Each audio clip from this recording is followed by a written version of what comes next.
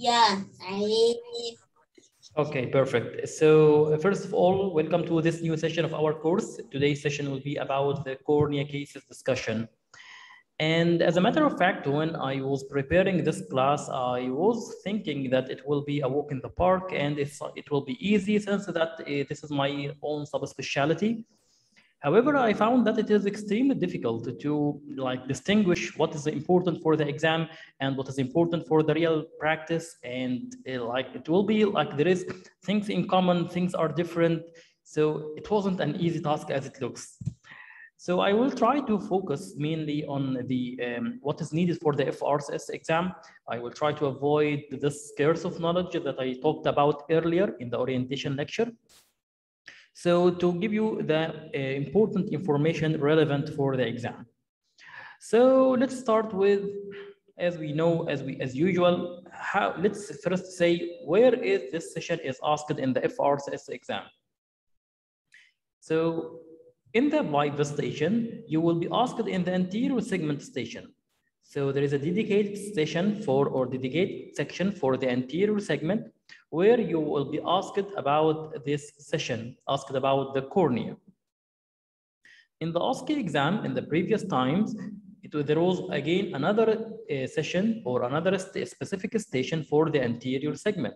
So you will sit on the slit lamp, examine the patient's cornea, and tell the examiner what are your findings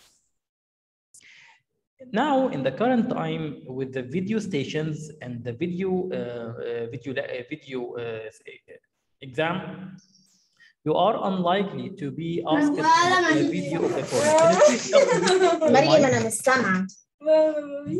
Please mute your mic. I will mute you all.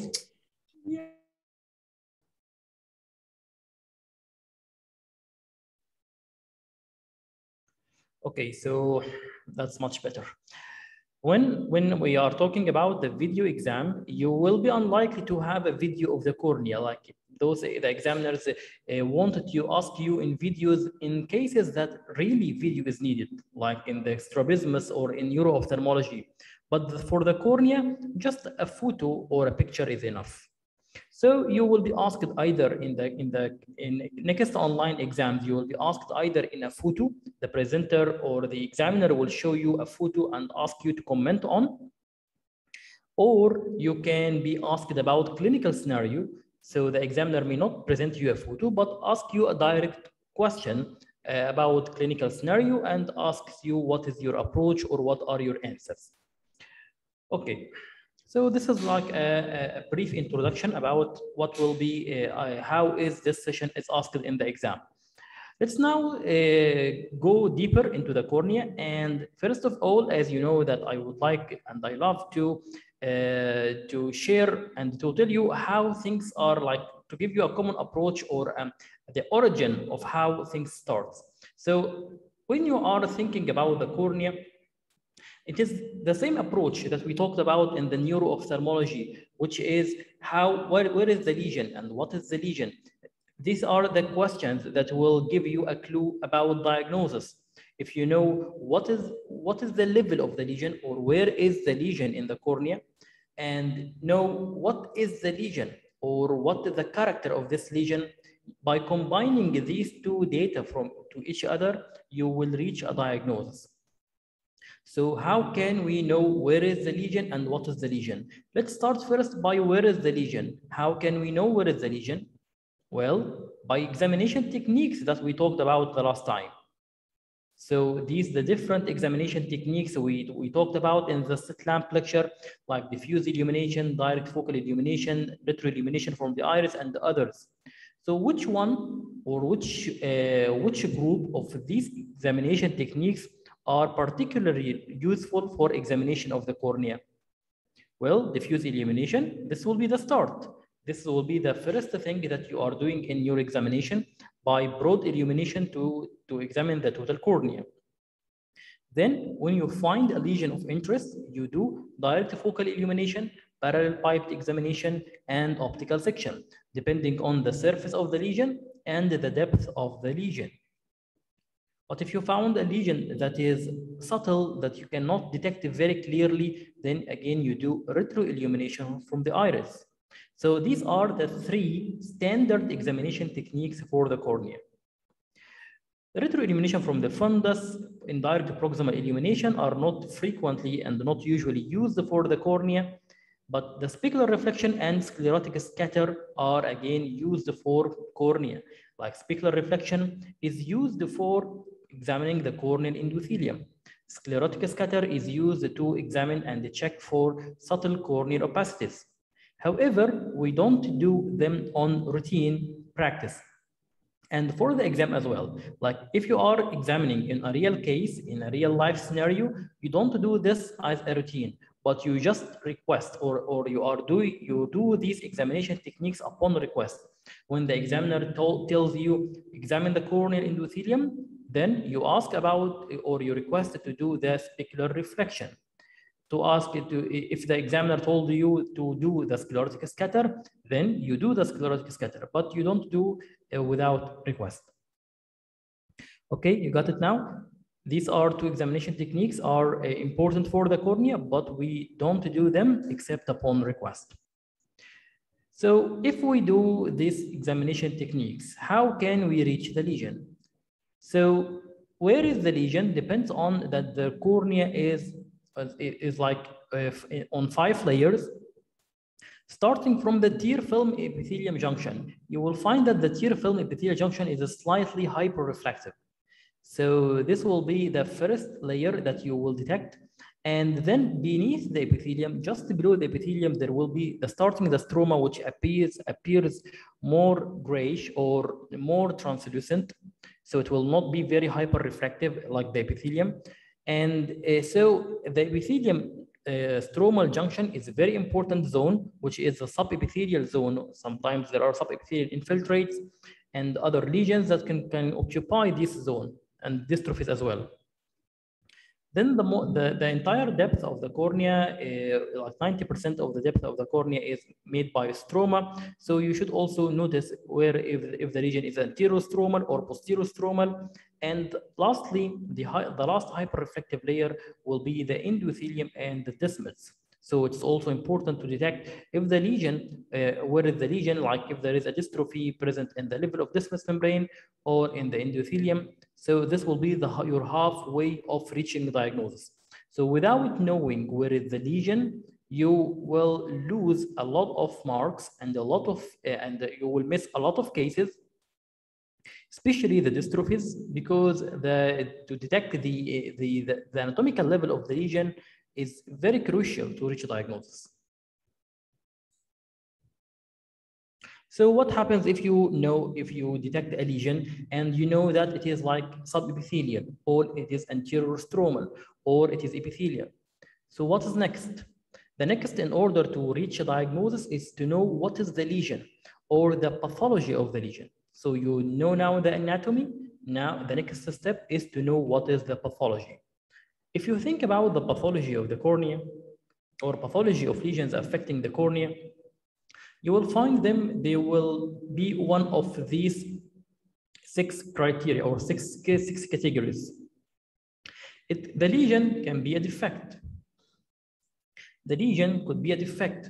For example, and the, not only a defect, also the, the, the, the, the tempo of the disease, like if it is acute or chronic or resistant or recurrent or persistent, this also can give you clue about diagnosis. Like if the defect is acute, you may consider epithelial abrasion. So you ask a patient about history of contact lens use, ask about history of trauma. If the, it is acute again, then could be a Descemet break. So ask about history of trauma again. And history of, uh, history of, mobile silent.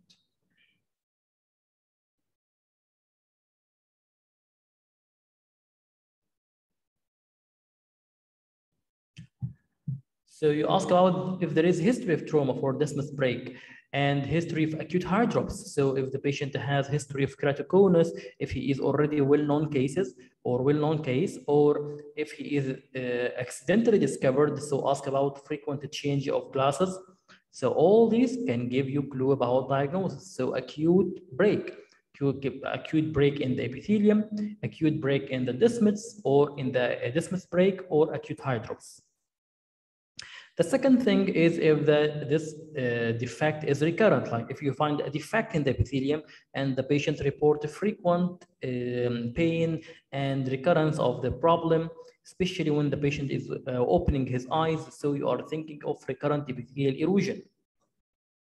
If the defect is persistent, think of herpes simplex virus. So this virus is it's epitheliotropic and will cause persistent epithelial defect. It can be either in virgin eyes or it can be present in post-surgery, like post-keratoplasty with patients. One of the commonest reasons of persistent epithelial defect after keratoplasty will be the herpes simplex virus. What else could be the lesion? It could be fibrosis or vascular, vascular process or vascularization. Like if the, the repair or if you find the cornea has fibrosis, if you found the cornea has vascularization, this denotes chronicity. This denotes that the, the process is chronic and there is repair. The, the patient has a, like any corneal insult that, and then the fibroblasts are trying to fix the cornea and make the cornea uh, restore its integrity. So this denotes that the patient has a corneal, uh, the, the, the patient has a corneal repair process and this can take a long time and the density of the scar itself will change over time due to remodeling in the collagen. So this is like uh, when we are residents, when you are seeing a cornea with a lesion, a, a, very common mistake that the resident will say, okay, this is a corneal opacity. There is nothing called corneal opacity. You have to define what is this opacity. It is a scar, it is infiltration, it is degeneration, it is dystrophy. So you should you should uh, know by, by the characters of this opacity. So if you find that it is like there is scarring, the, the cornea is thin, like if you have a, a, a, scar, then the cornea will be thin. So, and if there is vascularization, so this thinning and vascularization will denote that there is scarring and mostly that the cornea is in the healing process now.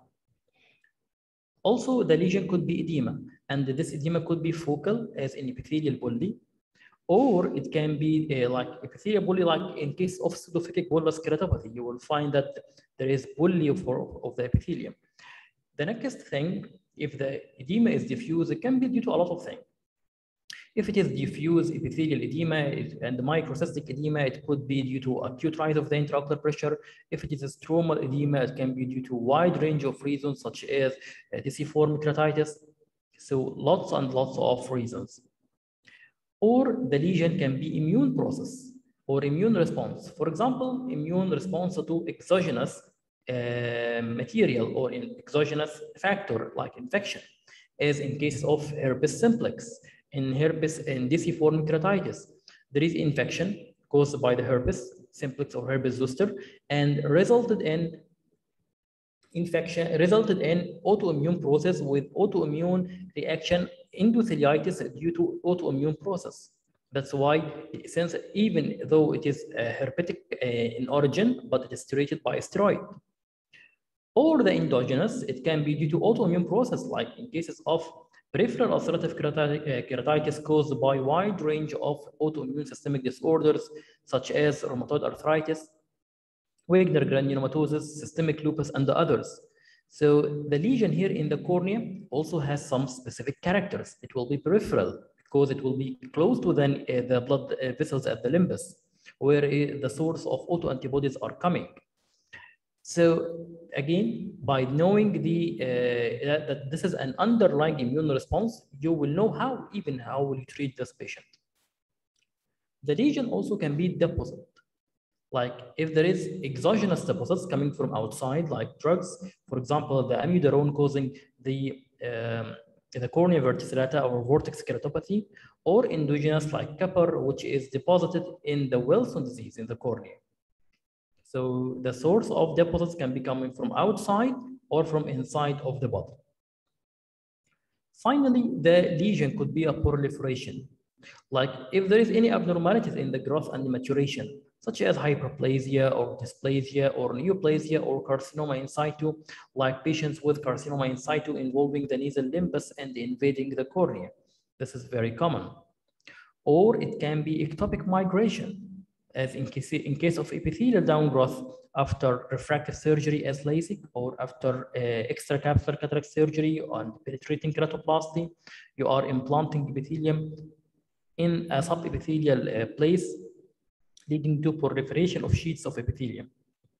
Or it could be stem cell deficiency.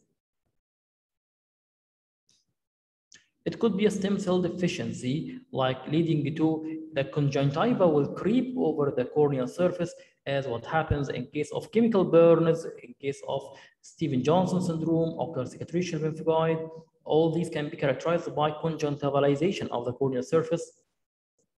So this will be because of the loss of the barrier between the cornea and the conjunctiva. Okay, so this is a, very brief overview about what are, uh, about how to approach a case of a cornea, how to think, how to, um, to analyze the condition as if, uh, as, uh, as if you are analyzing case of neuro or strabismus, you are putting the clues together in order to reach a diagnosis. Okay, so let's now start our discussion by the first case, and I need my first volunteer. So please raise your hand.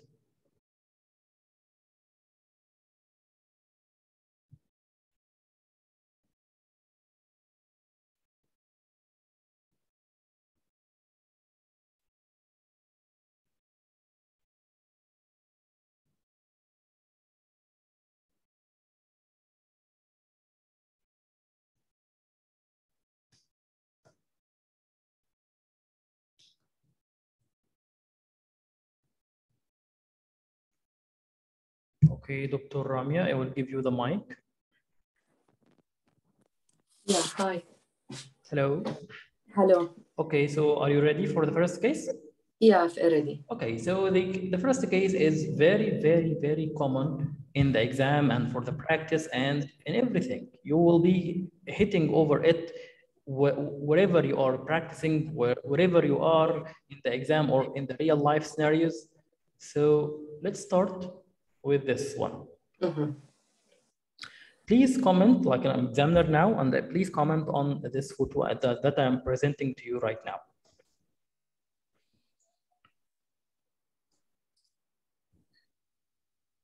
So I should uh, describe what I'm seeing, yeah? Or uh, Yeah, you... yeah, exactly. So as I said in the orientation lecture, when you see a picture, don't jump to diagnosis, just describe and give differential diagnosis if possible. And then by uh, see, for, ask for more clues about history and others that to reach a diagnosis. Yeah. Uh, there is uh, conjunctival uh, uh, injection and chemosis. Uh, uh, there is uh, corneal opacity and with uh, with a clear margin and there is uh, corneal uh, uh, haze and anterior chamber uh, hy- hypopyon. Uh, uh, now, can I ask or uh, I should ask the doctor or what I should do? No, you should now, after, after you describe, you should uh, list your differential diagnosis. Uh, okay, so uh, first uh, I should ask if uh, any history of uh, contact lens. No, you are now giving a workup. No, I'm asking Ah, about what- okay. what is, just a list your differential diagnosis. Yeah, um, uh, we can say bacterial uh, bacterial keratitis Okay, or fungal keratitis. okay. Uh,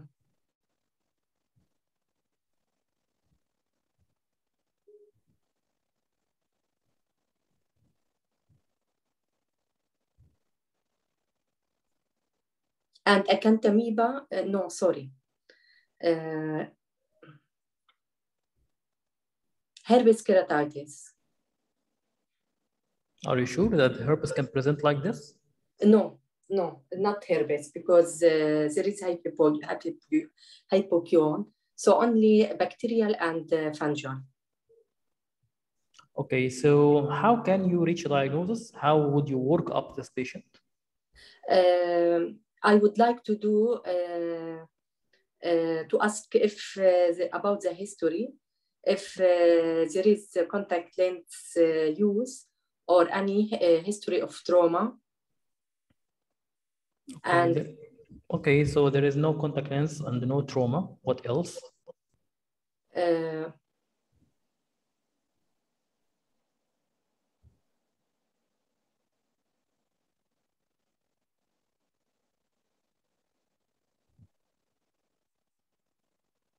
any any cornea ophthalmic disease, any past history of ophthalmic disease. No. What else?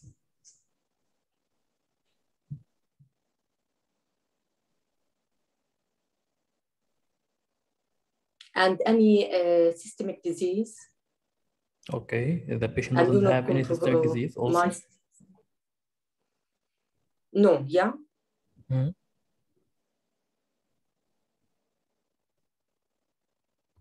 So uh,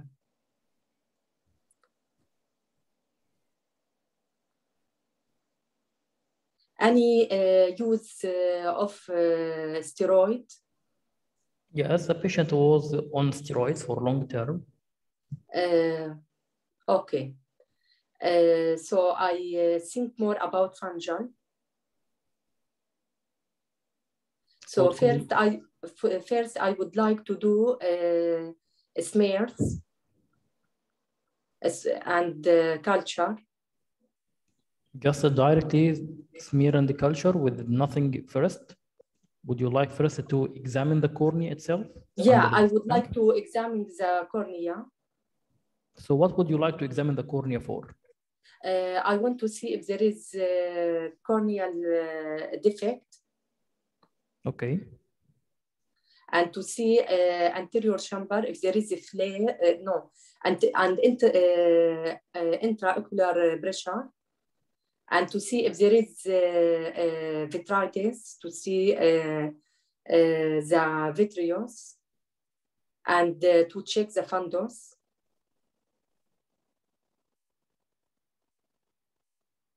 What else?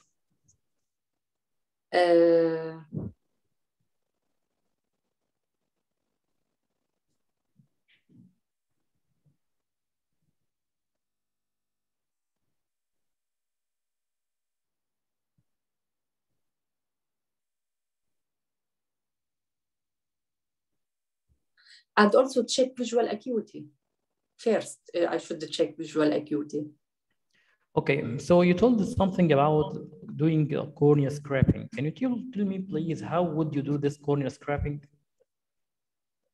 Uh, by uh, uh, by uh, cotton swab, we uh, start from uh, the in, uh, uninvolved area to the inside,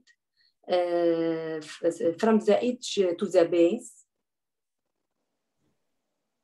Do you know any other uh, you uh, methods or any other tools that you use for doing the cornea scrap? Except the cotton, uh, cotton, uh, the, the cotton or the sterile cotton. Uh, by a blade, Okay. Which kind of blade?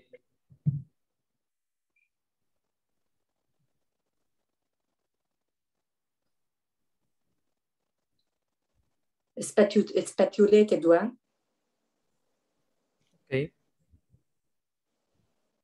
And, And so after after you obtain the specimen, where do, would you like to, or what would you like to do with it? uh, to do culture on uh, for uh, culture for uh, aerobic, for non uh, non aerobic and uh, for uh, fungal, Uh, and do also uh, uh, stain, stain, uh, gims, uh, gram stain and Giemsa stain. Okay.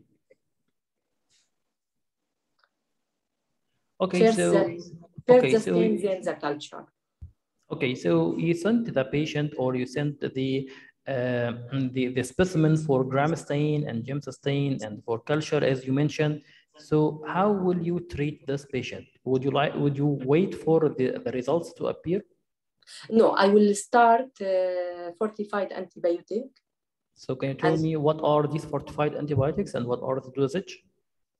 Uh, we, uh, it is uh, uh, tobramycin fortified and uh, quinolone as uh, gatifloxacin or levofloxacin. So gatifloxacin are fortified drops. Uh, no, we are not fortified. So what are the fortified eye drops that you are using? Uh, Tobra and Vanco So the tobramycin for gram negative or gram positive? for a gram uh, uh, for a gram negative, And the vanco uh, positive. Okay, so do you know the dosage or the, the concentration? Uh, no, unfortunately, I forgot. Okay, so what else apart from the fortified eye drops that you would you like to offer for the patient? Also, we uh, give extra uh, the uh, the um, uh, quinolone uh, uh, medicines extra to this or cefazolin. Sorry, cefazolin. Is topical or systemic? You are giving cefazolin topical or systemic?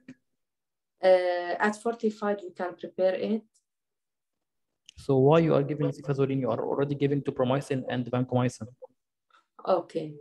Uh, so we give, uh, we can give uh, also uh, uh, ciprofloxacin uh, systemically, uh, 750. Would, would you think that in this case, this, the ciprofloxacin systemic will be effective?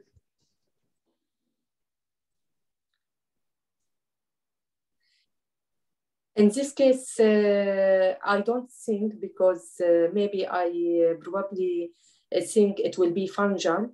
So, uh, but uh, until the culture result will appear, So Maybe why I do you can think that this patient has fungal keratitis? uh, because uh, there is history of long uh, use of steroid and uh, also the appearance of the of the ulcer that uh, it has a clear uh, margin. So if the patient has ulcer with clear edge, it, this means that it is fungal? Uh, uh, if it is uh, it is due to steroid, maybe uh, it could be because uh, there is uh, two kinds of uh. Uh, one of them with feathery edge, and uh, one uh, as uh, as apparent edge. Okay. So let's say, for example, that you started your fortified drops and now the, um, the, the culture and specimen tells you that this patient has mixed fungal and bacterial infection. So how will you modify your treatment? I will uh, cover him with uh, antibiotic, uh, fortified antibiotic. Uh, as What is, well, I what, what is the frequency? uh, every one hour, drops every one hour, uh, plus uh, antibiotic systemic. And uh, we can also give him antifungal uh, uh, drops. What is the kind of antifungal drops? We can, uh, we can give uh, natamycin eye drops. Or uh, also we can give uh, him uh, um, ketoconazole or uh,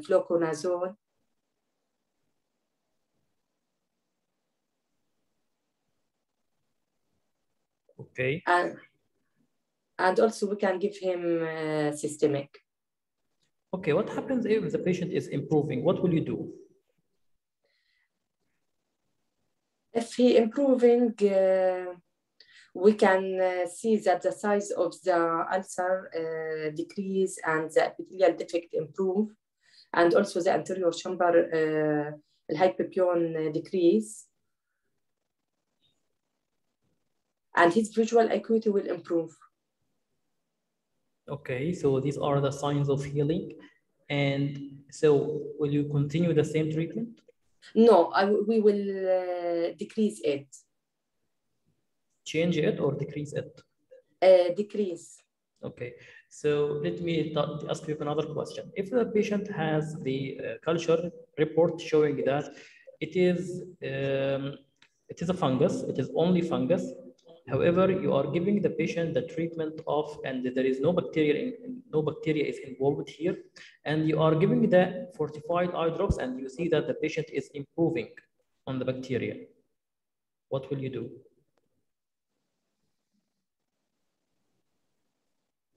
Uh, So sorry, the patient, uh, the patient is improving on the fortified Yeah. antibiotics.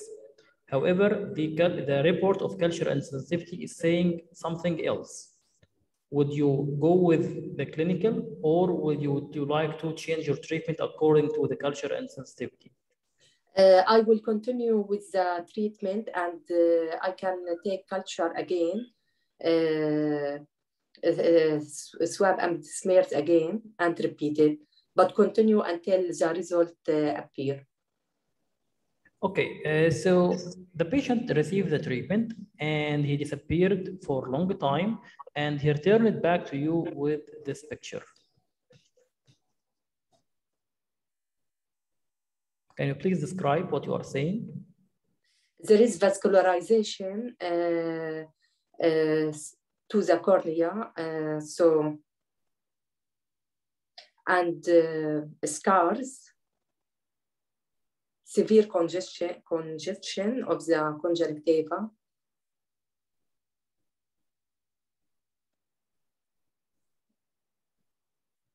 What else?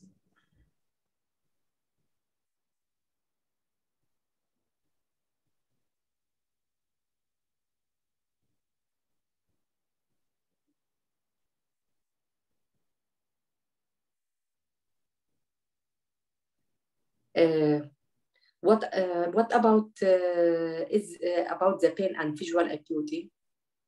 The visual acuity is hand motion and there is pain.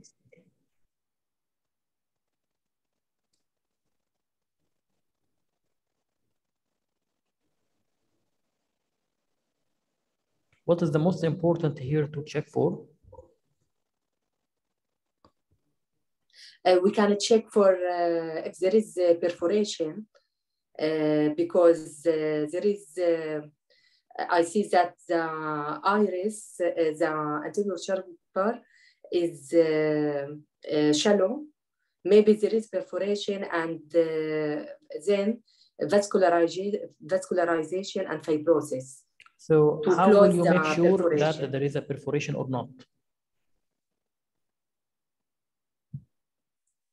Uh, we can uh, do uh, a Seidel test. And what is a Seidel test?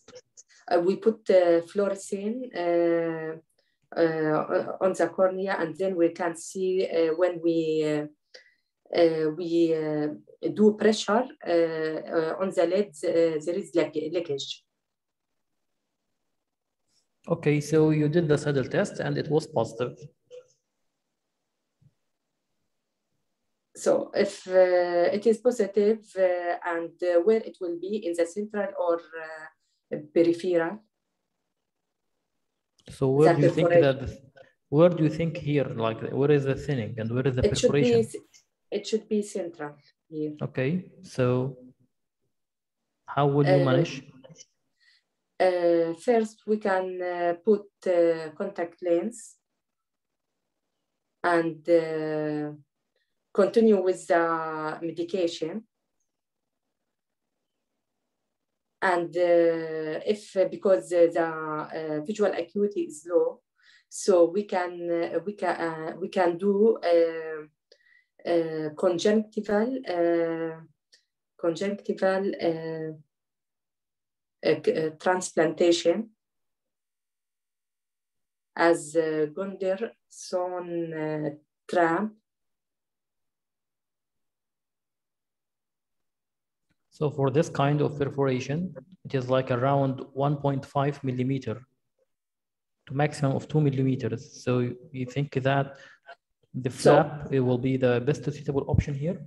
No, because uh, it is a small uh, one, less than two millimeter. So we can uh, put uh, contact lens uh, and do uh, lateral tarsorrhaphy.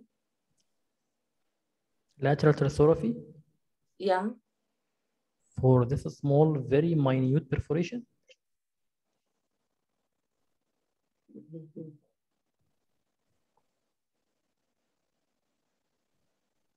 If you don't know, just say I don't know. yeah. Uh, no, uh, we can put the glue uh, if it is less than two millimeter, and then uh, put uh, contact lens. Okay. Let's see, show, let me show you another case.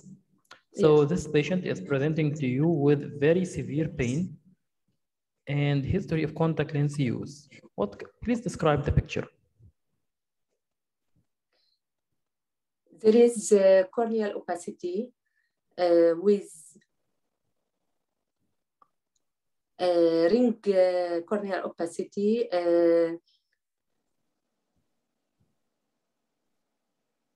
and the other cornea the, uh, is clear. Okay, what's your differential diagnosis?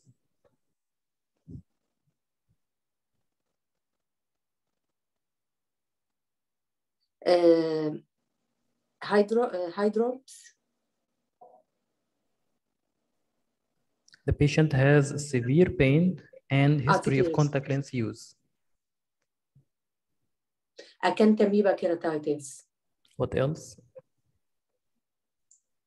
uh, bacterial keratitis, Okay, please check the patient's cornea.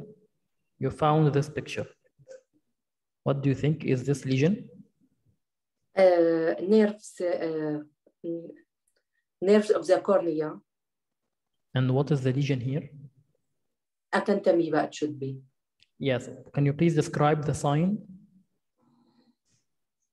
Uh, there is uh, uh, corneal ring opacification. For the other photo. Ah, there is uh, engorgement uh, of the corneal nerves. We And say engorgement for blood vessels, not for nerves. Ah, okay.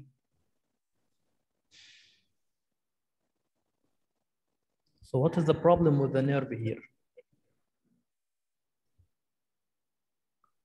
I don't know. Okay. Can you please tell me if this patient has acanthamoeba keratitis, how can you treat this patient? Uh, we can give him uh, uh, chlorhexidine uh, or and hexamethylene biguanide, and we can give him systemic conazole, ketoconazole, for long term. If this patient is improving and she has now no pain, would you advise her to go to, to do it, uh, and she is complaining of drop of vision, would you advise her to do penetrating keratoplasty immediately? No, because uh, it uh, sometimes uh, recurrent on the on the graft. Do you know how much is the percentage of recurrence on the graft? Uh, no. Okay. Okay, thank you very much. And let me just give you some notes about your answer. Okay, as I told you, this is the one of the very, very common cases and is considered one of the emergencies that you should know every single, every tiny detail about the cases of infective keratitis.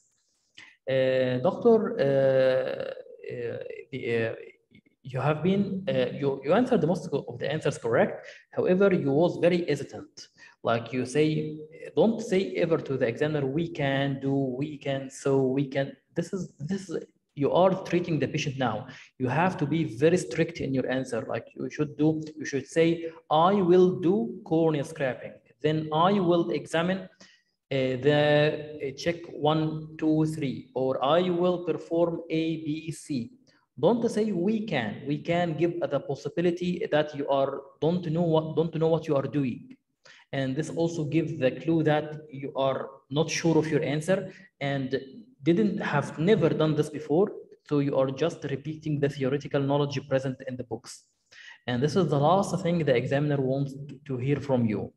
So be very specific be strict, be uh, always, uh, always use the letter or use the word I, not we. So you should examine the patient or you should do what uh, the exact thing you, as if you are examining this patient in your clinic.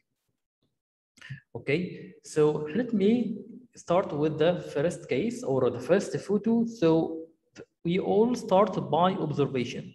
So by observation, what we can see here, we can see a congested eye or an injected eye with the cornea showing a central opacity, as you said, a central opacity, it looks like elevated and it looks like you have always to measure the corneal lesion. So you said you would say, how can I measure the corneal lesion? I don't, I am not sitting on the slit lamp. You already know that the horizontal diameter of the cornea is like 12 millimeter, and the vertical diameter of the cornea is around 11.5 millimeter. So it is 11.5 uh, in the vertical diameter, 12.5 in the horizontal diameter. So you should examine and you should compare the length and the width, the height and the width of the lesion, comparing to the horizontal diameter of the cornea. So for example, this cornea, it looks like around six millimeter per six millimeter, as it, as it is like almost half of the uh, vertical diameter and also half of the horizontal diameter. This is important. So I would say if I were if I were in your place, I would say that there is a central rounded stromal infiltration in the cornea. It is measuring six millimeter per six millimeter. It is whitish in color with well-defined edges and the, uh, I need to, uh, I, I can't judge over the epithelium over it because I didn't stain with, or I can't see, I need to see, see it on the blue filter, but, uh, but uh, I need it and uh, so that I can check if there is any epithelial defect or not. It is, this lesion is surrounded by stromal haze and also there is hypopyon. This hypopyon is measuring around four, four millimeters and there is the lens looks clear the rest of the cornea looks clear and the uh, so this will be your full comment on this case and then what will be your differential diagnosis your differential diagnosis will be that it is an infective keratitis for differential diagnosis why because you see a central stromal infiltration you see a hypopyon and Yes, exactly, Dr. Hassan. There is also Descemet's folds. And you see that this, this patient has uh, a pain uh, or this patient has redness. So you are considering your infectious causes as your first priority. Dr. Majd, no, there is no neuritis here. These are just Descemet's folds. All these are Descemet folds. Okay, so this will be your first comment and the differential diagnosis will be infective keratitis. It could be bacterial, it could be fungal, and it could be a acanthamoeba, by the way.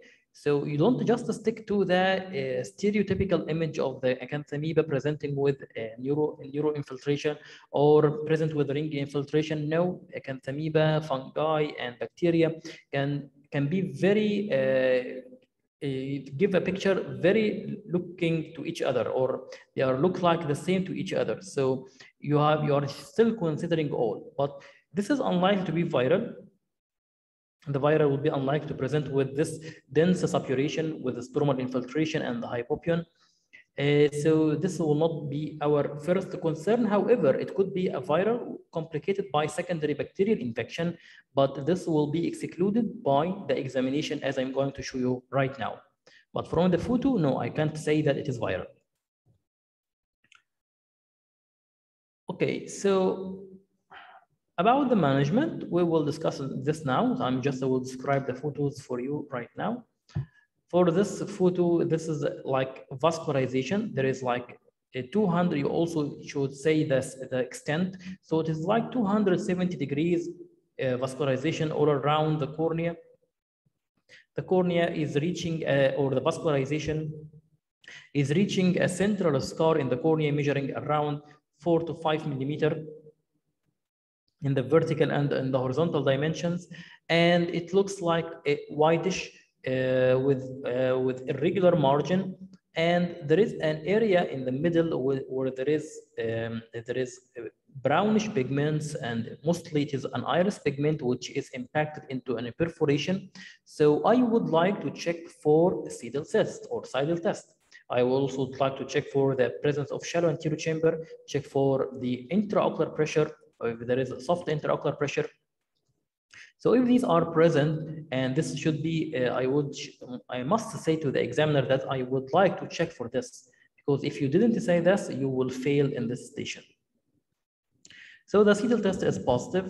It will show the green river sign by the fluorescein strip. And, and then what will you do next? Also, we'll talk about the management of the perforation in a while. Regarding this photo, what we can see here, there is a ring-like infiltration in the cornea, and there is scattered central uh, multiple uh, focal or multifocal opacities present at the level of mostly it is in, in, is in the stroma. And so this will be also can be bacterial, can be fungal, can be uh, acanthamoeba. So again, don't try to reach a diagnosis by just the shape. You are giving a differential diagnosis of infective keratitis and all can be present with each other or with each other or a, the, the clinical picture can be very deceiving. So when you see this picture or the examiner show you this picture, you will see that there is an area or of, there is, a, uh, there is this is the corneal, corneal peripheral nerve and the nerve is infiltrated. The nerve is swollen and it is not engorged. We are saying that the, the nerve is thickened, but it is not, we don't say it is a visible corneal nerve because we, when we are saying visible corneal nerve, we are meaning that it is a normal corneal nerve. So visible corneal nerve can occur in keratoconus, can occur as a normal variation. So we say that it is a perineural infiltration or keratoneuritis or a perineuritis, okay? So there is a perineural inflammation of the um, of the peripheral nerves, which means that this patient is mostly acanthamoebic keratitis, and we will discuss the management now. Dr. Kirtana, how to check the uh, uh, how to check the intraocular pressure in perforated case there? It will be mainly by digitally. Simply by digitally, we will know if it is um, perforated, if it is soft or not, but we don't put uh, any uh, devices like applanation tonometer or others. No, we don't do that.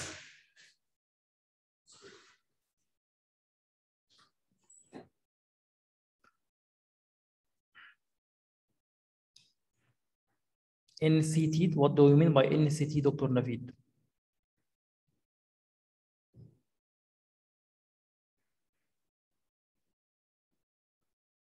Well, it depends. If you have it in your practice, you can do it. But for me, I don't have it, unfortunately. So if you have any other, any non-contact method, you can do it. But please bear in mind that any uh, method that you are using will be uh, not very accurate because if the patient has stromal infiltration, thickness of the cornea will affect the measurement. If the patient has thinning, the thickness of the cornea again will affect the measurement any method that will not be very accurate. So you are trying to depend, you are trying to depend on uh, your clinical judgment rather than to touch the patient. or to use any method for measurement. Like if you have a shallow anterior chamber and you have like the iris is bulging or plugging the defect. So this will be like a, a spot diagnosis. Yes, Dr. Muhammad Islam, that's what, what I was mentioning, that we don't need intraocular pressure in perforated corneal ulcer, like this will be a spot diagnosis or a clinical diagnosis even without measuring the intraocular pressure.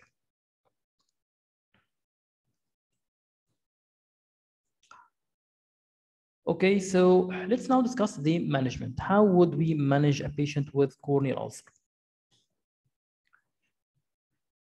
First of all, when we have a, a, patient with corneal ulcer, we check the, the location. The location is very important. We, you remember when we said, where is the lesion?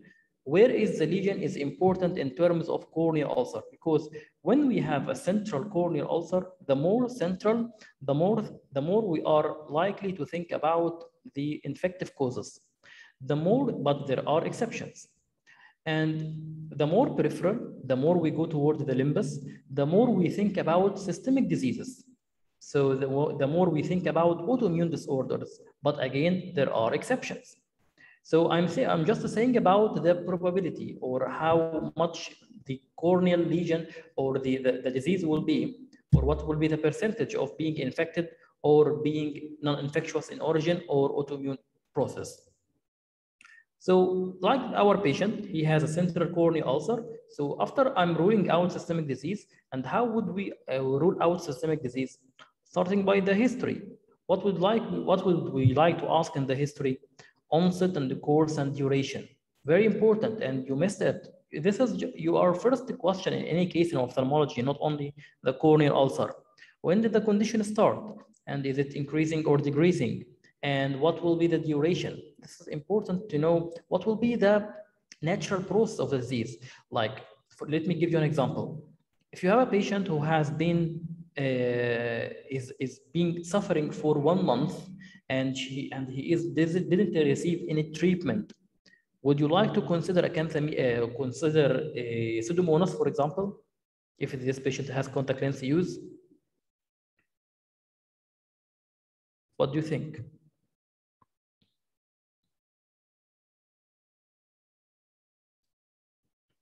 If this patient that I'm presenting to you has been uh, treated for one month or is not even treated for one month and is coming to you now and he has contact lens use, I would never consider acanthamoeba. Uh, sorry, I would never uh, consider pseudomonas because pseudomonas is very severe condition. It doesn't take that time, that much time without perforation. It will be very aggressive. It will perforate the eye. So it will not stand or stay calm like this for one month. So duration is very important. It will give you what will be the natural history of the disease, okay? Uh, and, it, and it will give you what will be the most likely condition that caused this problem. Another example, let me tell you, like if you have a patient who is now contact lens user, and again, and he is now presented to you after one week of a stoppage of contact lens after he felt pain in his eyes, and you didn't find any clue of ring infiltration, would you consider that eh, or would you exclude acanthamoeba? No, we cannot exclude. We cannot exclude acanthamoeba because it, it like in the acanthamoeba in the early stages, it will give, uh, it will show very few signs in relation to symptoms. So these patients will show severe pain. However, there are no clinical signs. Sometimes this is uh, wrongly diagnosed as herpetic because of the appearance of pseudodendrites. So the full-blown picture, the, the, the ring infiltration, it takes like one month or so in order to develop. So again, course and the duration are very important to ask about in order to know what is the nature of the organism that affecting or the causing the corneal ulcer. The second thing is the recurrence. Why is the recurrence is important? Can you tell me? In terms of central corneal ulcer or a patient with corneal ulcer? Which corneal ulcer or which kind of infective keratitis is characterized by recurrence? Herpes simplex. Herpes simplex. Yes, exactly. It is the herpes. So recurrence again is important. Trauma, history of trauma. Trauma can predispose to any kind of uh, uh, infective keratitis. Especially speaking about the trauma with agricultural matter, like trauma with wooden, uh, with wood or, or any, or, or a branch from a tree will give rise to the fungal keratitis. So that's why we are asking also about the personal history, like what, what, will, what is the nature of uh, the, the, the job of the patient or what is his uh, career, like if he is he is in the agricultural matter, like if he is uh, if he's a farmer, then you are considering not only the fungal keratitis, but also the acanthamoeba. Like the acanthamoeba is not only exclusive to those who are contact lens wearers, but acanthamoeba can be present in the canals, in the water of the canals. So if they are uh, washing their heads or face with unclean water from these canals, this can result in acanthamoeba. The past medical history with systemic diseases, uh, especially, the diabetes or any history of immune suppression, like use of any immune suppressive drugs, history of uh, recent renal transplant, the history of contact lens use also can predispose to uh, any kind of infective keratitis, steroid use as well, and the anti previous antimicrobial use. I also should inquire about that as the previous antimicrobial use, if it is not responsive, so I may consider another diagnosis. So now you know what will be the history. What, will, what should I ask the examiner or ask the patient? What will be the main items of the history that I should inquire about? Then we will proceed to the examination. So first thing, let me, uh, let me just stress on that. We need to document. You remember when I told you we measure the size of the ulcer, we measure the size of the epithelial defect, we measure the size of stromal infiltration, we measure the size of the hypopyon. So the documentation is very important because when you are following up this patient, you will not remember how much the ulcer was or what will what was the dimensions. So you should draw or you should document then you do very, very important step. Don't ever forget to test the corneal sensation before any case of keratitis. Like if, uh, because herpes simplex ha or herpes has a lot of variable presentations. So this, uh, by uh, the only way to differentiate or to exclude the presence of herpes is to test the corneal sensation. If you have diminished corneal sensation, you are considering viral or herpes infection then you then you stain the, stain the fluorescein and as a general rule you don't do fluorescein staining with binox in the cornea clinic you are putting the fluorescein strip so you are measuring the uh, you check if the patient has a sensation with the maybe with the fluorescein strip or with with a cotton. And then then you are staining for the presence of epithelial defect. So what are the signs that are present in the, when I asked do Dr. Ramya what are the signs that you are checking for in the cornea that can give you clues about the, the, the origin or the, the, hist the, the, the pathology, which is infection. So you should consider the, first of all, the pedal no, uh, mnemonic. What is this pedal? It is the presence of pain. Again, pain can be present in both uh, infective and non-infective. Like a non-infective can be very present in more in ulcer but pain is can exclude if the central ulcer is more uh, infective or there is no infection. Epithelial defect is also very important, like if the patient has a stromal infiltration due to uh, infection, mostly that there will be a break of the overlying epithelium. And this will also uh, will guard uh, or will, will, will, will tell us the response to treatment and tell us how would we interfere and how would we add some adjunctive treatment such as steroid. The discharge, if there is discharge, like for example, the pseudomonas has characteristic soupy discharge. It is like soup. It is mucopurulent discharge. Anterior chamber reaction also, but beware that the anterior chamber reaction doesn't always have to be from the infection. It can be a reaction on, from inflammation. And also this is important to, to, to say or to think when we add steroids for some cases. Local infiltrate, the like stromal infiltration, which appeared as whitish or grayish or yellowish material present in the cornea, in the stroma, which will cause corneal thickness. And this is very important when uh, my residents asks me, I am so- so- sometimes confused about uh, how is uh, the, if there is an opacity in the cornea and in, in, in the course of a corneal ulcer, and I don't know if it is an infiltration or if it is a scar. So simply look at the thickness. Like the infiltration will cause thickening of the cornea, while the scar is a, is a contractile tissue, it will cause a thinning of the cornea. Dr. Roxana, what type of discharge in Pseudomonas? It's called the soupy discharge. It is like, let me just write it, soupy. It is like soup. Mucopurulent discharge. You know the soup you are washing your hands with?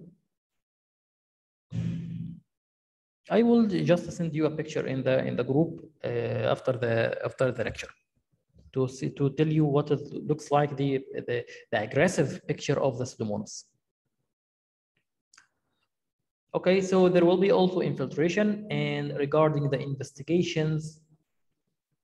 So you are now documented the case. You are you are now suspecting infectious origin, which mostly is a bacterial or fungal or a acanthamoeba. So you would like to do investigations. What will what are the investigations that you will do? You do corneal scraping. So how would we do the corneal scraping? This is a common question in the exam, and I am going to show you uh, in a, in a while. Then um, you do you take this scrap and you spread this scrap over uh, three slides for staining for aerobes, anaerobes, and fungi. And also you are, uh, you, they you, are, you are placing this in a broth um, uh, in order for to do culture and sensitivity. And for some resistant cases where you, you have nothing to scrap, where the lesion is posterior, you may consider a corneal biopsy. And this, this is common for fungal cases.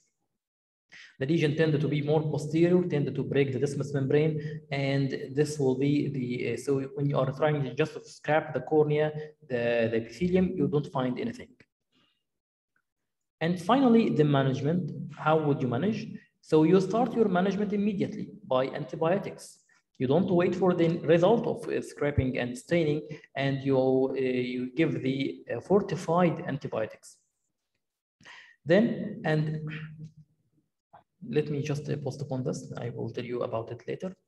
So you are giving me the topical antibiotics. You are giving, these are topical, like this patient with uh, central cor- corneal ulcer, when you are giving a systemic antibiotic, well, it will not be effective. The, the, the lesion is central, so no rule for the systemic antibiotic here. You may consider it for cases of peripheral ulcer, but for central ulcer, no rule. The cycloplegics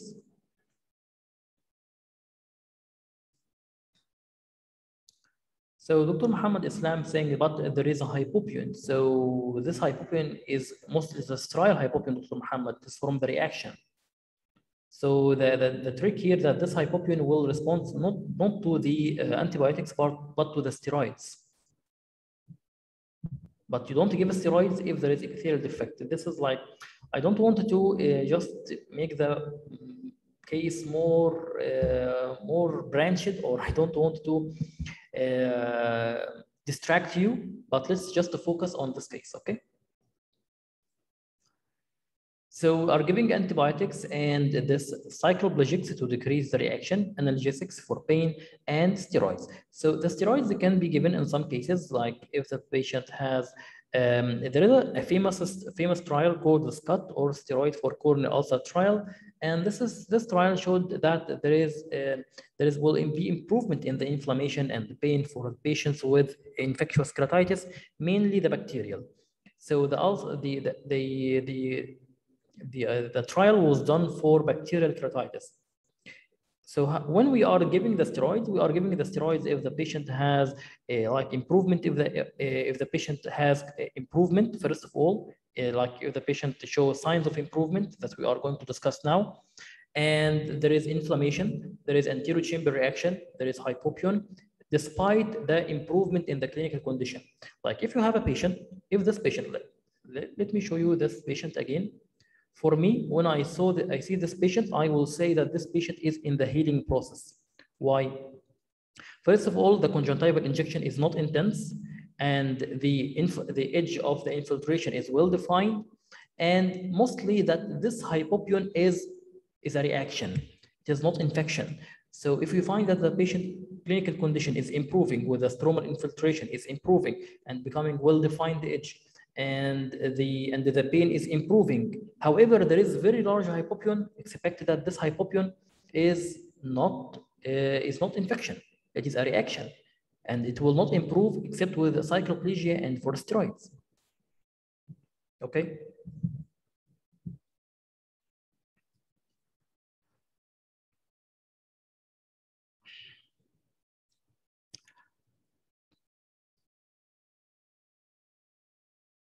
Difference between what, Dr. Maral?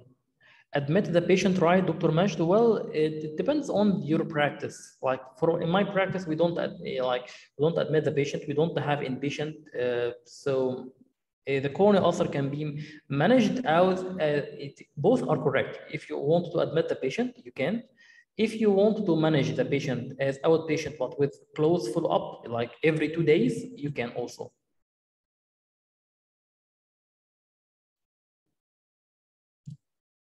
We didn't say we didn't reach the the perforation, Dr. Kersana. We still we will discuss the perforation in Hawaii.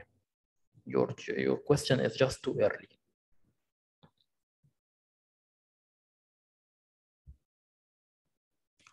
Okay, so let's back to the management. So would you please explain, would you please explain again the difference between a sterile hypopyon and infectious one?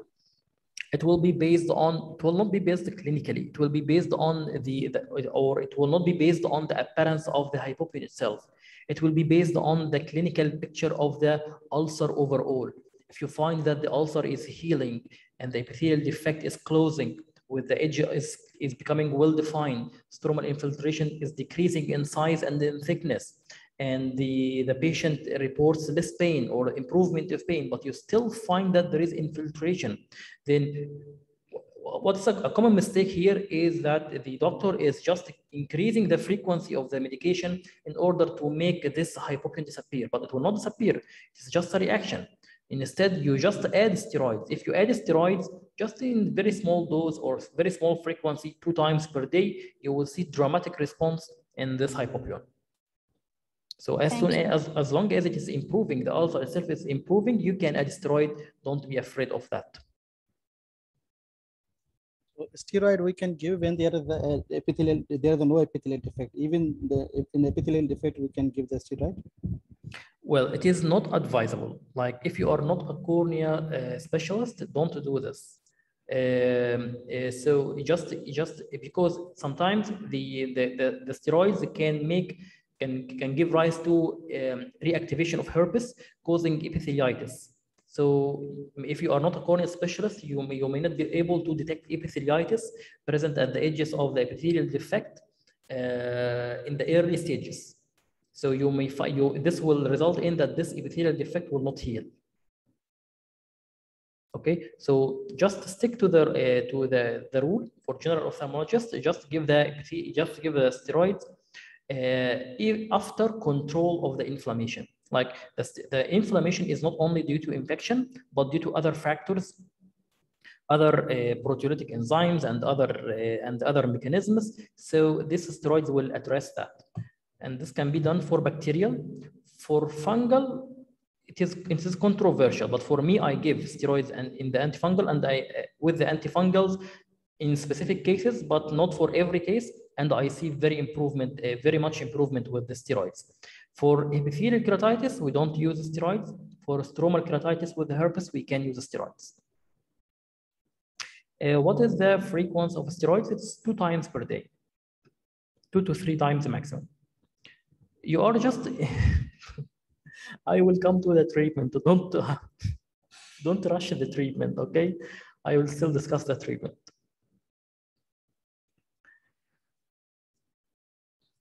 Okay, so we have three scenarios. Like if the patient is improving, what will you do? The, the patient, you will continue the treatment, even though if the results of the culture and sensitivity are different. If the patient is deteriorating, then you are stopping the treatment and you are uh, and wait for 48 hours and do risk wrap for maybe you have a wrong diagnosis and also consider uncompliance. The patient may be not compliant to treatment. And also consider the toxic, medic toxic medicamentosa or consider that the epithelial defect or toxicity from the drugs. So if you find that the patient has punctate epithelial erosion, uh, widespread, consider that this is a toxicity from the preservative of the drugs, especially the antifungals.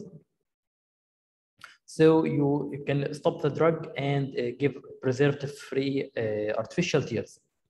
Or if the patient is proceeding to complications, and by complications, we mean that if the patient proceed to endophthalmitis, so you can do the ultrasound. If the patient proceeded to the uh, perforation, we will discuss the perforation right now.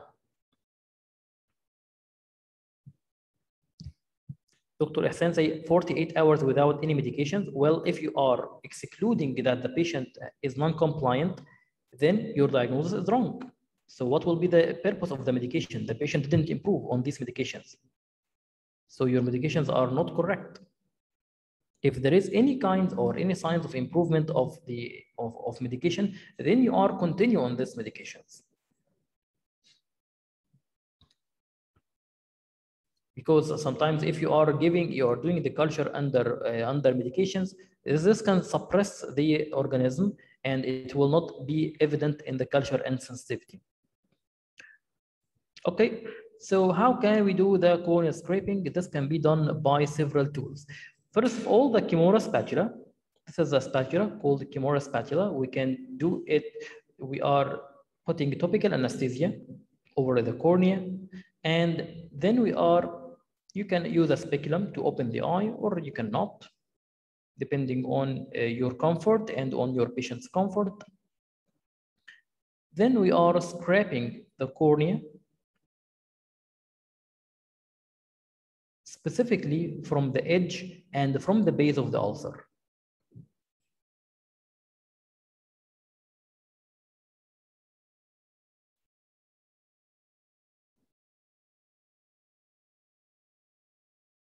gentle scraping of the edge and the base of the ulcer because these are the advancing edge. And here we are putting it in the broth for culture for both aerobes and anaerobes.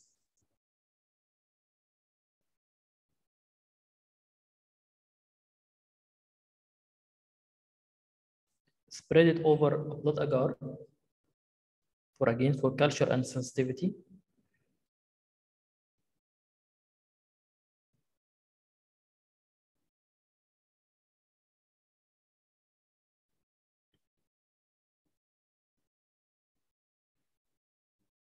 chocolate agar for Haemophilus and Neisseria and Moraxella.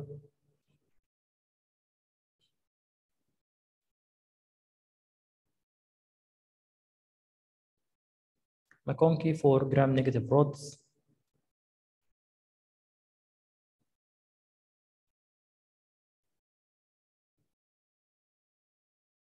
Sabouraud agar for the fungi. And then we also spread them over slides for gram stain and for Giemsa stain. So this is how we do the corneal scraping. We can, if we, and of course, dispose any, use the needles or instruments after you finish. If you don't have Kimura spatula, you can do it with the 15 blade. The 15 blade also can be used for scraping.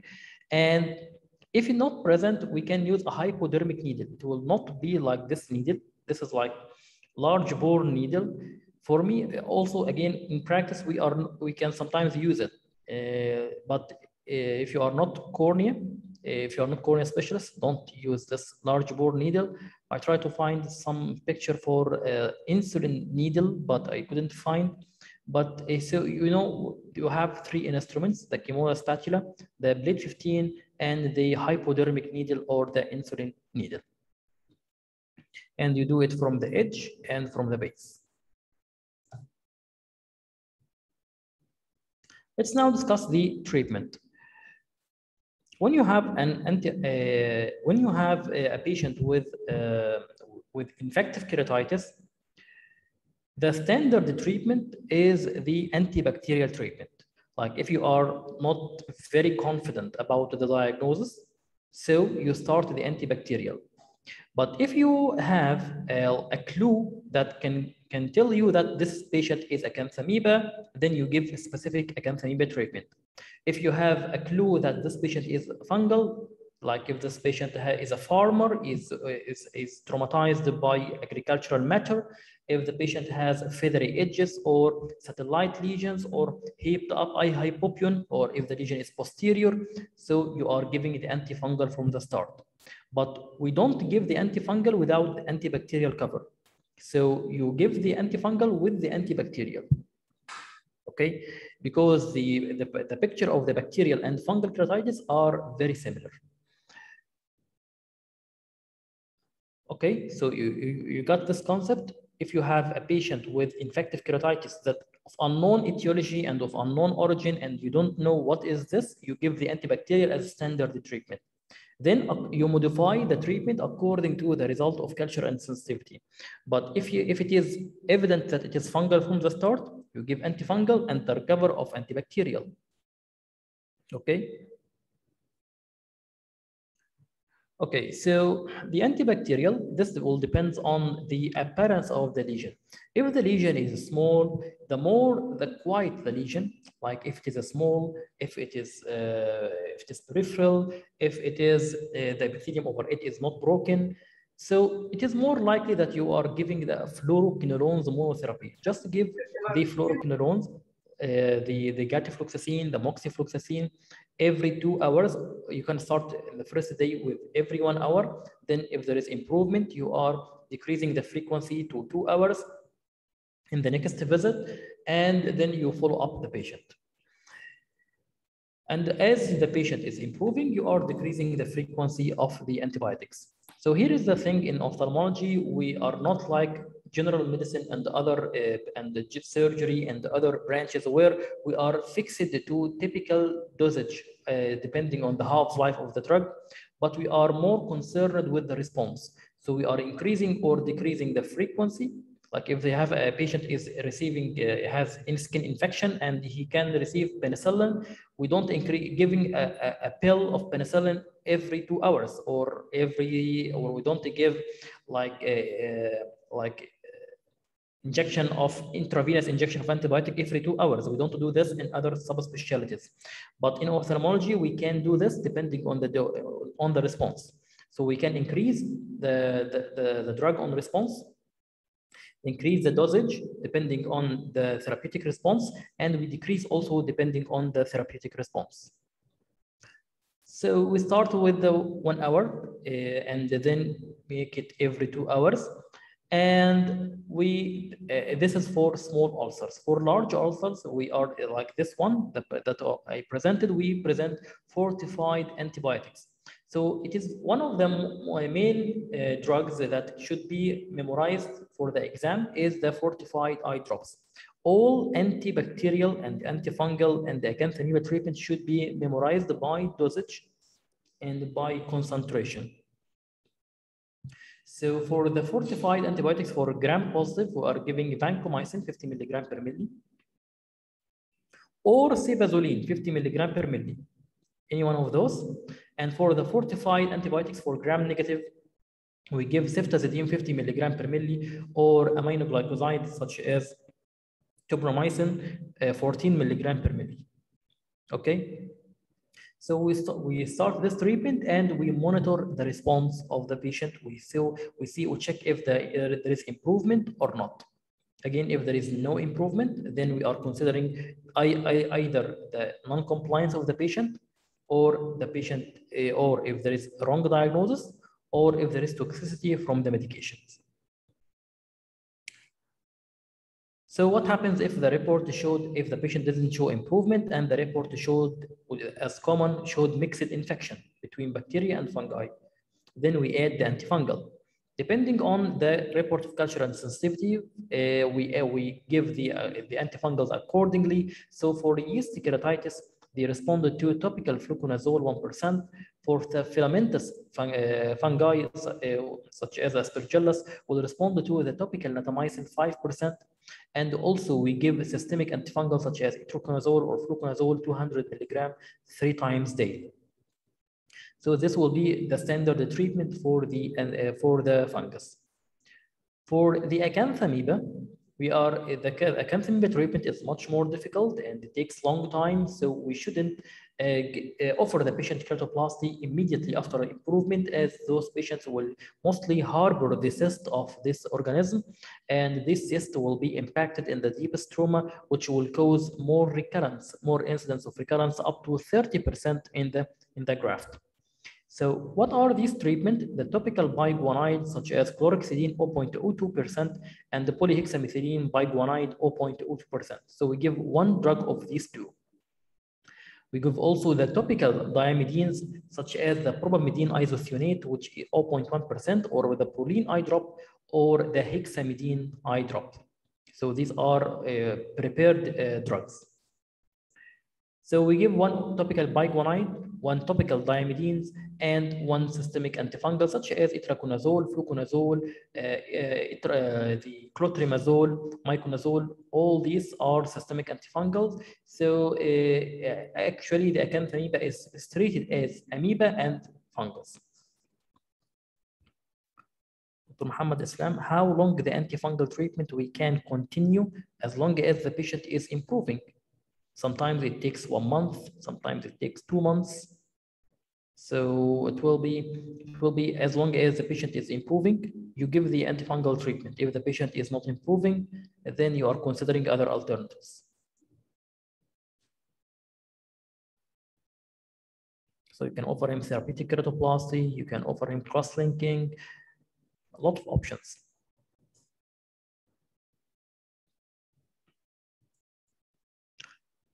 So the systemic itraconazole is 200 milligrams three times daily. We give two eye drops for the acanthamoeba. Usually, yes, we give two eye drops for the um, chlorhexidine and Brolene, and also we give them under cover of systemic antibiotics. So we give also like uh, moxifloxacin eye drops uh, together with these two drugs. So we cover the amoeba, the fungi, and the bacteria. Usually, if the acanthamoeba is diagnosed correctly from the start, and it will show good response. But if it is late in diagnosis, as, as it usually happens, then it will be more resistant to treatment.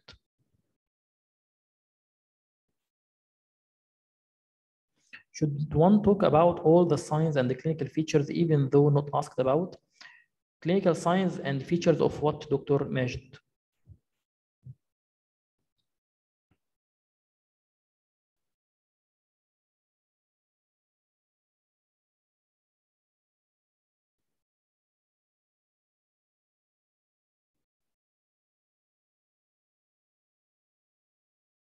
Of acanthamoeba. Okay, so acanthamoeba, it is not like, uh, let me um, uh, just try to summarize the acanthamoeba for you. It is not like you will find all the signs at once. It is like stages. There is stage one with epithelial infiltration. There is stromal infiltration with perineural.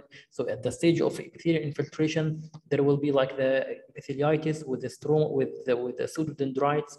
Then the epithelium will break down then as it will go deeper into the stroma, so there will be perineural infiltration and there will be the uh, patchy stromal opacities. Then as the organism is impacted deeper and deeper and it will cause the ring infiltration.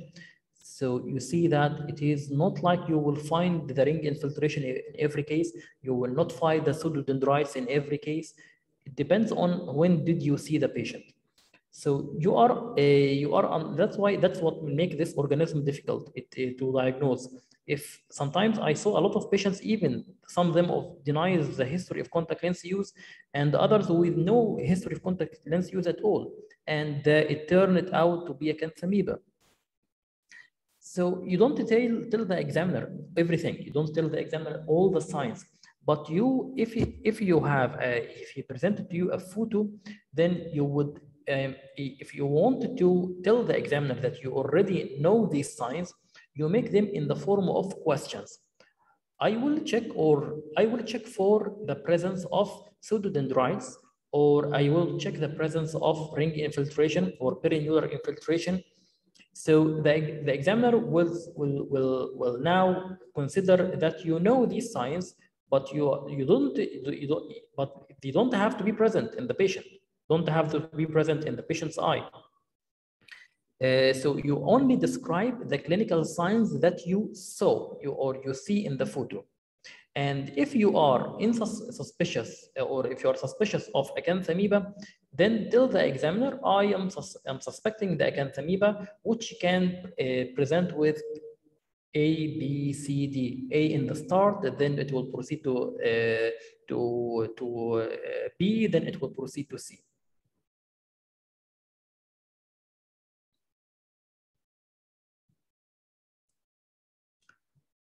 So mm-hmm. when the examiner asks you about what are the signs of healing ulcer, it will be decrease the pain and the congestion and the consolidation and the sharpening demarcation of the edge of infiltrate. This is very important. The base of the ulcer will be clear, but you will not be able to appreciate that, but you will see that the edges will be show sharper demarcation lines. So let me show you a case that I treated. This is my patient. So this patient present with no history of anything, nothing, like no contact lens use, no, uh, no uh, systemic disorders, no trauma, nothing. With, with this stromal infiltration. So what can you see here? That there is a stromal infiltration. It's about two millimeters. And you can appreciate the depth here. You can see that the, it is elevated. The cornea is thickened. And uh, so what, what happened or what, what, did I give this patient? The patient has this stromal infiltration, not, not affecting the visual axis. It's more peripheral, no anterior chamber reaction, no hypopyon, and the epithelium over it is intact. So I give her the uh, fluoroquinolone, like give her moxifloxacin every two hours. And three days later, she presented to me like this. You see now what is the change of this, the character of this ulcer? Is now becoming more scarred. is now becoming very well defined. And like this, the thickness itself not becoming thick, it's becoming thin now. So the and actually this is this whitening. It is just an epithelial plaque. It is epithelial plaque rather than a stromal infiltration. So the patient show improvement and all the pain improved. There is no pain here uh, right now and the and the patient is satisfied. After three days, she presented to me, or in the next follow-up, you can see that the density of the uh, scar even is, is, is, decreasing. And then she was lost to follow-up, so she was, she was satisfied and she was improving, and she didn't come to me later on as uh, the uh, and I expected that if she passed like month or two months, this scar will be very very faint okay, because of the collagen remodeling. So this is what's meant by a, a, a, healing ulcer, like decreasing stromal edema, decreasing endothelial plaque and hypopyon, decreasing anterior chamber reaction. So all the manifestations will point to that this patient is healing. So if the patient is healing, you continue on the same treatment. But what happens if the patient is not healing or if there is perforation? So how can we manage a perforated ulcer?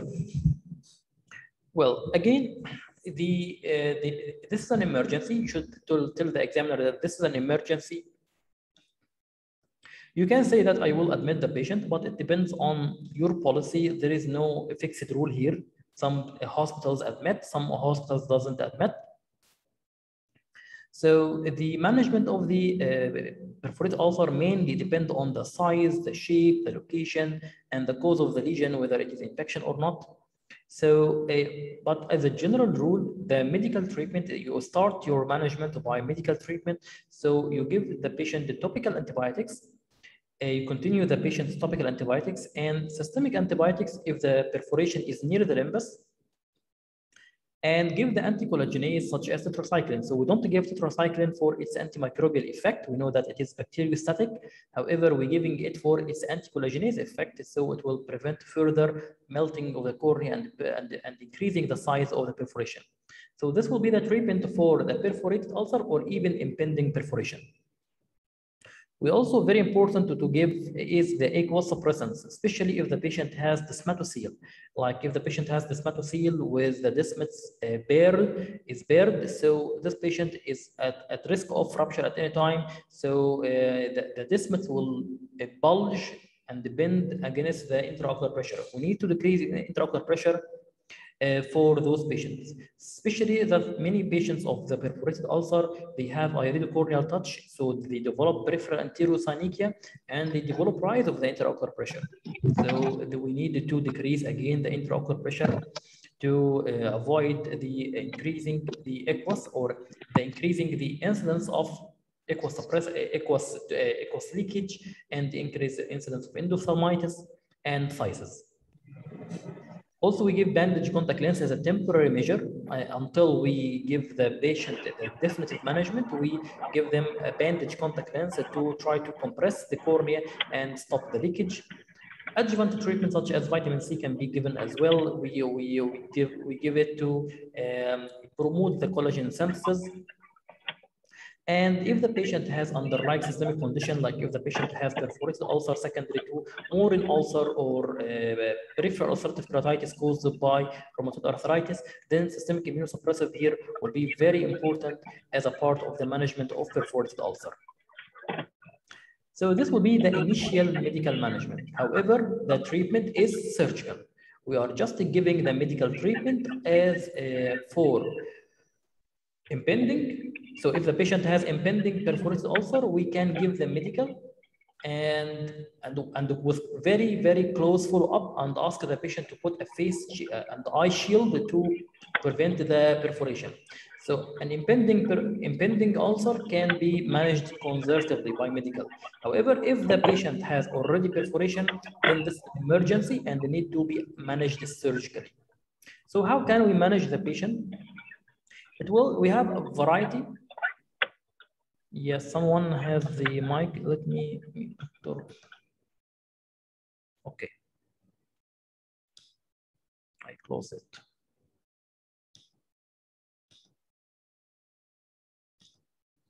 So the, the choice of the surgical management will depend on the um, the wide range, as I told you, uh, of, of, of factors like what will be the size, the shape, the location, the cause of the lesion. But the most important in the choice is the size.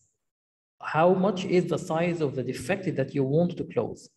For example, if it is small, like one to two millimeters, then the surgical method, the least invasive will be the tissue adhesives, like the cyanoacrylate glue and fibrin glue. And there are a lot of difference between them and whether it is central or peripheral.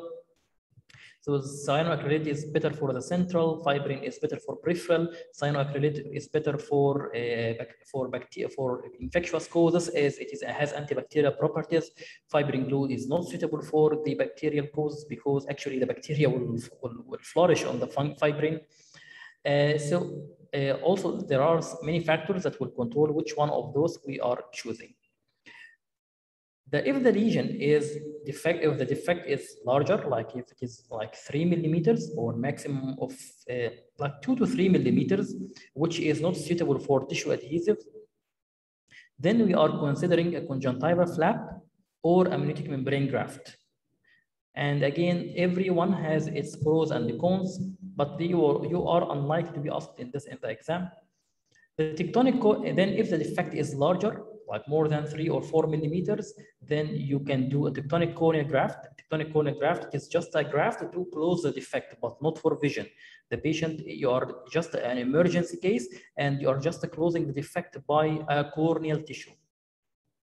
And, or you can do a scleral patch graft if the, if the patient, if a corneal graft is not available, then you can do a scleral patch graft. Okay, so let me show you some of my cases, maybe. So here is a tissue adhesive. You can see that there is a central perforation here. It is like one millimeter. And for the patient has shallow anterior chamber. And we put a tissue adhesive here. This tissue adhesive plugging the defect until the cornea under the defect will heal. And then this, uh, this uh, tissue adhesive will be peeled off. It will peel off naturally by itself. So this will be done for small perforations. For uh, larger perforation, we can do the conjunctival flap. So let me share you for the, this my patient. This patient has a perforated corneal ulcer. You can see this, you know, you see this is the iris coming out. And what is this? This is the cornea. The cornea is melted and dislodged like this. So when this patient presented to me, I had I didn't have any corneal tissue, and this is an emergency, as I told you. So I did him a conjunctival flap, so a rotational flap, and and expect what? I, as I was expecting that to, to happen, that when this patient has uh, when I put the conjunctival flap and the anterior chamber form again, the, the flap will not be stable in its place. So this is what happens when the anterior chamber is forming. Anterior chamber is formed, the, so the the all the iris is pushing against the flap, causing this uh, dislodgement of the flap. So, and, and since this patient has total corneal defect, and also, the conjunctival flap is not suitable for total conjunctival uh, corneal defect, as I told you, it will be, uh, it will not withstand the effect of the intraocular pressure.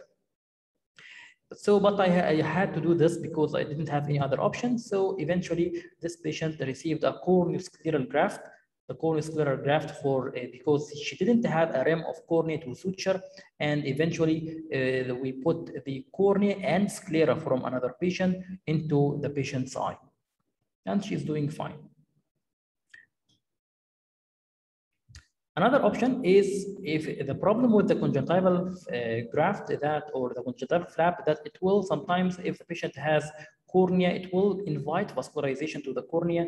So if we don't want to invite vascular, and but it has advantage of bringing also antibiotics from the blood vessels. Uh, the amniotic membrane graft can also act by uh, helping the, to, to heal the cornea by the uh, healing factors present in the amniotic membrane. The amniotic membrane can be done using several methods. Uh, there are what's called inlay and overlay and this and the Swiss roll uh, uh, implantation of the amniotic membrane graft. But uh, for the amniotic membrane graft, we don't remove it. We, we just wait.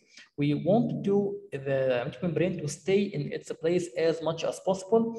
Usually it resolves and dissolves around one month after uh, the cornea heals below it.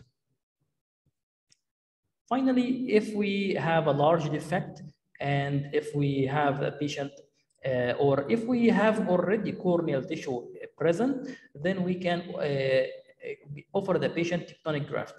Like for example, this patient as well, she is uh, having a, a, central infiltration and the central infiltration, I was afraid that this central, this central infiltration will progress to the limbus. So I thought, uh, and this central perforation, yani, she had this infiltration and then she developed a central perforation. So, and she was not responding to the medical treatment. So I, I thought to give her an opportunity by doing here a tectonic graft. So to remove the cornea, to culture it, and to preserve the integrity of the eye. But she presented with this perforation acutely. So I did her this, um, this tectonic graft. And you can see that the graft here is opacified. Why it is opacified? Because actually it was a graft I, that I took from another patient. This the patient has this corneal scar, so I did him the other for the, the other patient I did him optical keratoplasty, and for this patient, well, uh, for this patient, will did take the, the graft from the first patient and implant it in this second patient. And for this patient now, we close the defect, so it's a tectonic graft, and later on, the patient received optical keratoplasty. Dr. Mustafa, one, what will happen if they reach the limbus? Well, first of all, the healing will be poor. Like if you, when you are now trephining the cornea, then a part of the cornea you are trephining is not healthy corneal tissue. It will be just an, a corneal tissue with a stromal infiltration and inflammation. So the healing will be poor. More incidence of recurrence in the graft. So these are the, the, the main two problems. So there will be recurrence of the infection in the graft, and the graft may not heal uh, from in the first place because of the presence of stromal infiltration. So it is like a rationale. When you are having a patient with perforation, you are thinking, should I uh, rush to uh, a graft Or should I give the patient opportunity for treatment to provide, uh, to, to improve the survival of the graft, the next graft? So every uh, cornea surgeon is thinking like that. What, what should I do? Should I wait or should I proceed? Everything has its pros and cons. So let me show you for this, for example, again, this is my patient who also had a central perforation, but this patient actually presented to me late. Like uh, he, he, he was not my patient from the start, and he presented with a stromal infiltration and with central perforation, and he went to many uh, doctors and all refused to do him the surgery, saying that it is uh, poor prognosis and the patient had visual acuity of PL, and they will, and by the way, when you have a patient with visual acuity of PL, you are expecting a poor prognosis. And so uh, what will be the options here? Actually, we don't have any option. Like uh, we have to do a keratoplasty, but the it's a problem with the prognosis. And again, the problem here with healing. Like the edges here may not heal very well. But I did him again a graft, cornea graft. It was eccentric. I did a, little bit eccentric graft and uh, the core, the graft healed, and uh, the, the, the first post-operative visual acuity was 160, and the patient is doing well as well. Dr. Bushra asking about the Boston keratoprosthesis. We don't do the Boston keratoprosthesis except for uh, severe ocular surface problems. Like if the patient, um, if the patient has multiple graft rejection, this is one indication. And second indication, if the patient has uh, like scarred co conjunctival surface and the corneal surface as in OCP or Steven Johnson or chemical burn with total stem cell deficiency with nothing to implant from the other eye. Uh, in this case, we, we, we don't do corneal graft because there is 100% failure rate of the corneal graft, either because of loss of stem cell or either because of poor ocular surface with severe dryness that will cause affection of the graft. So in these cases, we do Boston keratoprosthesis. However, the survival for the Boston keratoprosthesis itself, like it's four or five years. The maximum patient I saw was seven years. It doesn't stay more than this. That's what that I was talking about, Dr. Mustafa. This is um, this is the rationale that we are thinking about. We have two uh, we have two sides of the story if you if a patient has perforation, he can develop endophthalmitis. So you are rushing for the surgery. If the if you didn't if you didn't manage him and you give him an opportunity, you will go you will give him a better uh, treatment or better healing process. So I think that uh, if you are treating this patient, if you like, like this patient I'm presenting to you, I give him an opportunity for two weeks like I give him medications for two weeks, waiting for any improvement of the edge, any recession of the stromal infiltration, something to, uh, to improve the prognosis of the surgery. However, I found that there is no response. So I did him the surgery, didn't wait much more than this.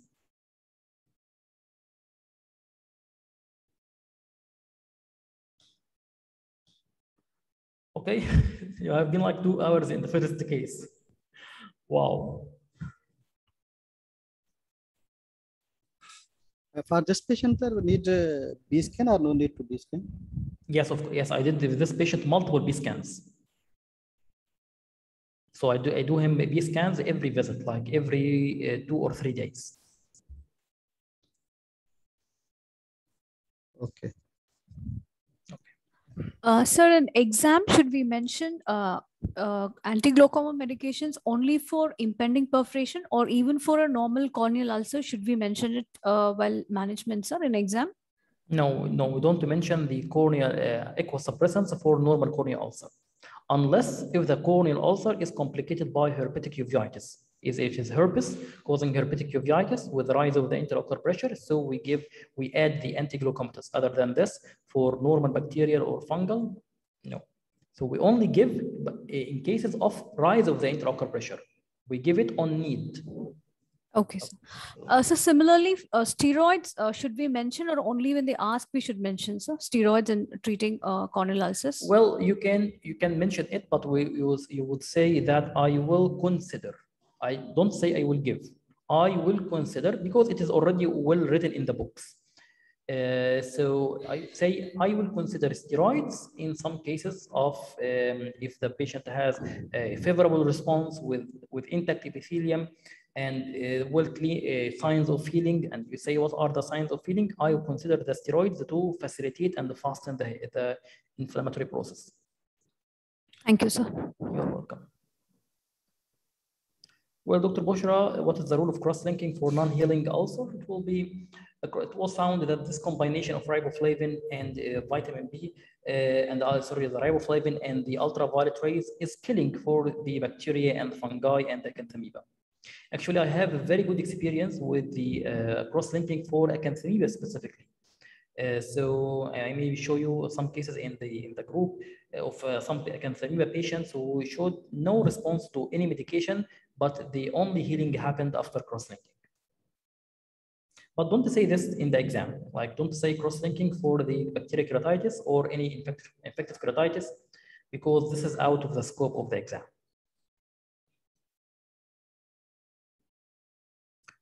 Okay, let's now check for the next case.